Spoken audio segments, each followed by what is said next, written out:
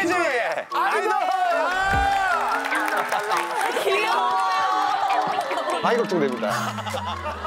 접니까? 여기 여기. 알겠습니다. 거기 계시면 화면에 안 나오시니까 이쪽으로 어, 저는 모르겠습니다. 홍돈이 형이 그립네요. 98년 데뷔이십니다. 제가 98년생이에요. 아 그런 식으로 푸시면 안 되죠. 무서워. 연기하지 마. 자제하세요.